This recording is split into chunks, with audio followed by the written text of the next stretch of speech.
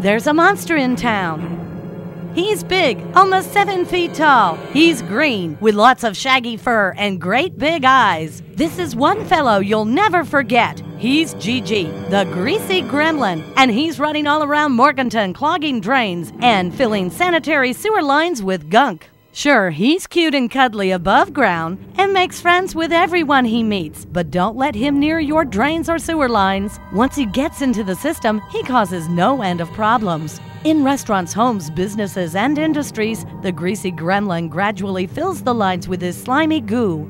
Like cholesterol clogging arteries, GG slows down your drain lines, eventually choking off flow and causing a backup.